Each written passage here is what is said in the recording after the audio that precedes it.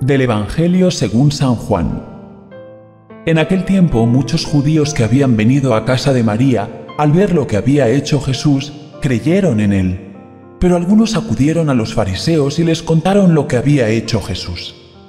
Los sumos sacerdotes y los fariseos convocaron el Sanedrín y dijeron, ¿Qué hacemos? Este hombre hace muchos signos. Si lo dejamos seguir todos creerán en él, y vendrán los romanos y nos destruirán el lugar santo y la nación. Uno de ellos, Caifás, que era sumo sacerdote aquel año, les dijo, Vosotros no entendéis ni palabra, no comprendéis que os conviene que uno muera por el pueblo y que no perezca la nación entera. Esto no lo dijo por propio impulso, sino que, por ser sumo sacerdote aquel año, habló proféticamente, anunciando que Jesús iba a morir por la nación. Y no solo por la nación, sino también para reunir a los hijos de Dios dispersos y aquel día decidieron darle muerte. Por eso Jesús ya no andaba públicamente entre los judíos, sino que se retiró a la región vecina, al desierto, a una ciudad llamada Efraín, y pasaba allí el tiempo con los discípulos. Se acercaba la Pascua de los judíos y muchos de aquella región subían a Jerusalén antes de la Pascua para purificarse.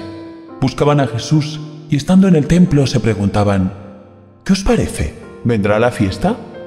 los sumos sacerdotes y fariseos habían mandado que el que se enterase de dónde estaba les avisara para prenderlo.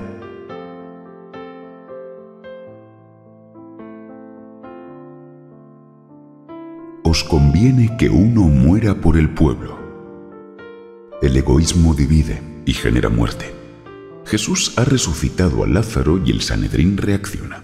Aquel día decidieron darle muerte sumos sacerdotes y fariseos tienen miedo a perder el control de la situación, miedo a que la gente les dé la espalda, miedo a Jesús, que representa una amenaza de muerte para el templo y para todo el sistema religioso político. Os conviene, es el egoísmo, que uno muera por el pueblo y que no perezca la nación entera. Es la justificación. Frente al egoísmo que divide el propio relato, nos da otra visión proféticamente anuncia que Jesús iba a morir no solo por la nación, sino también para reunir a los hijos de Dios dispersos. Es la profecía del misterio pascual. Jesús, que se entrega a la muerte en cruz por la salvación de todos los hijos de Dios. Y gesto profético de Jesús resucitando a Lázaro, que anuncia su propia resurrección. Que la proximidad de la celebración del misterio pascual lo vivas unido a Cristo como encuentro en la fe, en el amor, en la vida nueva con el resucitado, como camino sinodal para la Iglesia, como vía lucis para el mundo.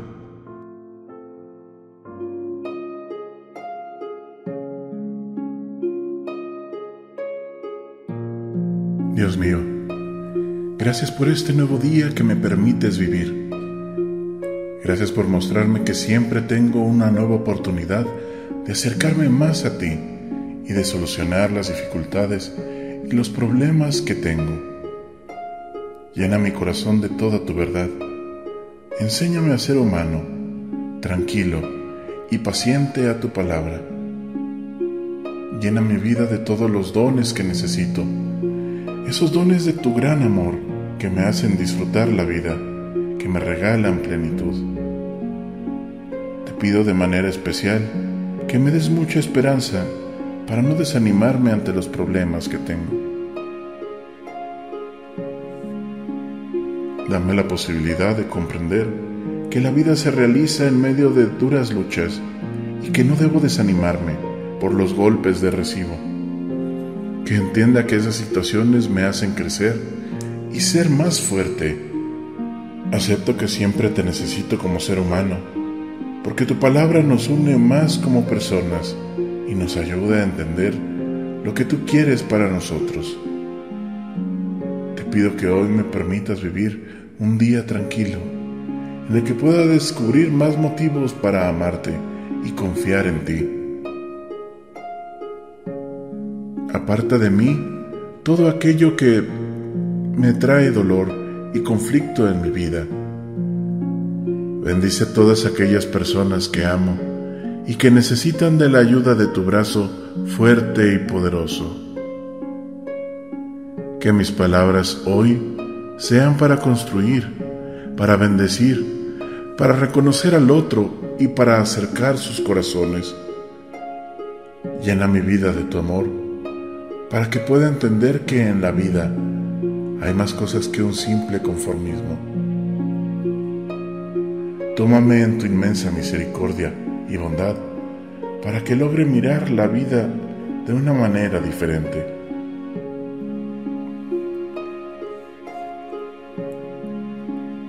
Bendito seas, Padre amado, por todo lo que me regalas, por este nuevo amanecer, por todo lo bello de esta mañana, por el sol que nos regalas para que tengamos calor, por esa brisa que nos das para sentir tus caricias. Gracias por todo lo que pones en mi camino, para que disfrute de tu amor. Pasa tu mano por mi mente, y quita de ella todo pensamiento pesimista, de tristeza y dolor. Quiero levantarme optimista, pensando en todas las cosas buenas que me han pasado y todas las que van a seguir pasando. Gracias por escucharme y por ayudarme en este nuevo día.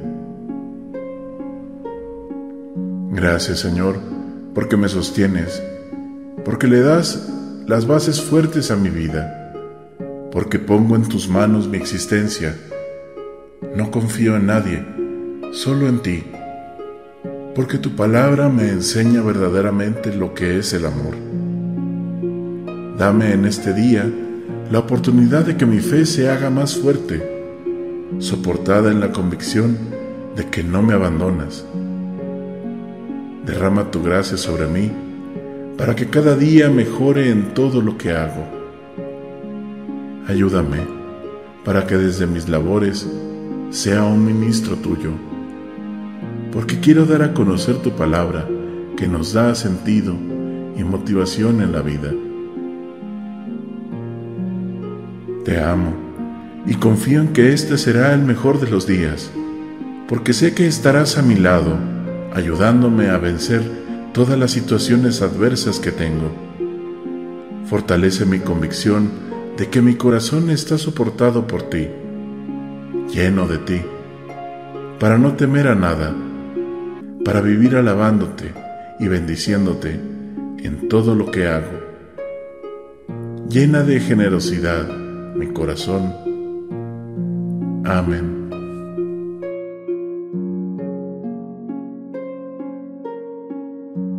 por el dolor creyente que brota del pecado, por no haberte querido de todo corazón, por haberte, Dios mío, tantas veces negado, tantas veces pedido, de rodillas, perdón, por haberte perdido, por haberte encontrado, porque es como un desierto nevado mi oración, porque es como la hiedra sobre un árbol cortado, el recuerdo que brota cargado de ilusión porque es como la hiedra, déjame que te abrace, primero amargamente, lleno de flor después, que a mi viejo tronco poco a poco me enlace, y que mi vieja sombra se derrame a tus pies, porque es como la rama donde la savia nace, mi corazón, Dios mío, sueña que tú lo ves.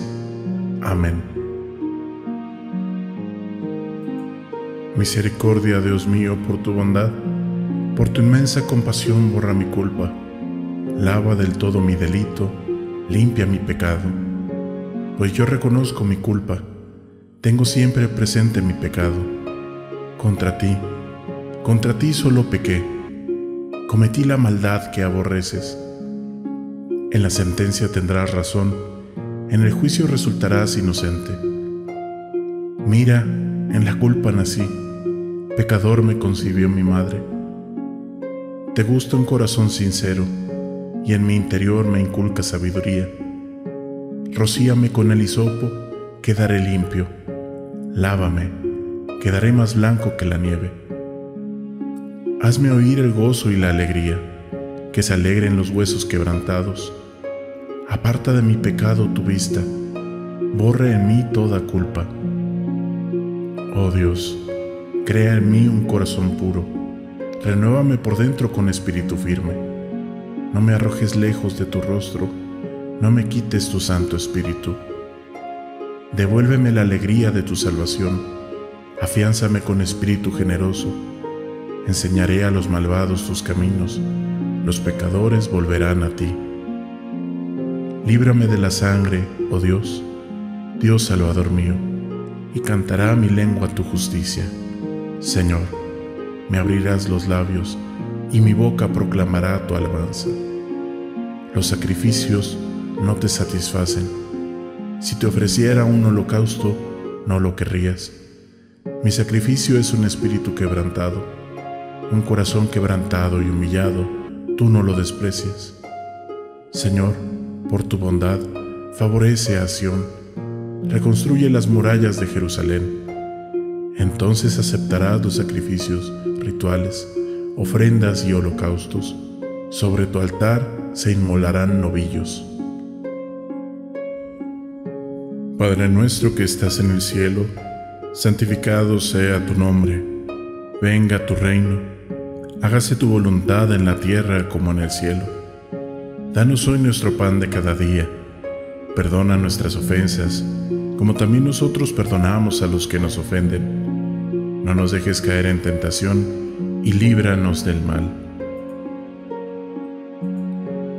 Creo, Jesús mío, que estás real y verdaderamente en el cielo y en el santísimo sacramento del altar. Te amo sobre todas las cosas y deseo vivamente recibirte dentro de mi alma, pero no pudiendo hacerlo ahora sacramentalmente, ven a lo menos espiritualmente a mi corazón y como si ya te hubiese recibido, te abrazo y me uno del todo a ti. Señor, no permitas que jamás me aparte de ti. Amén.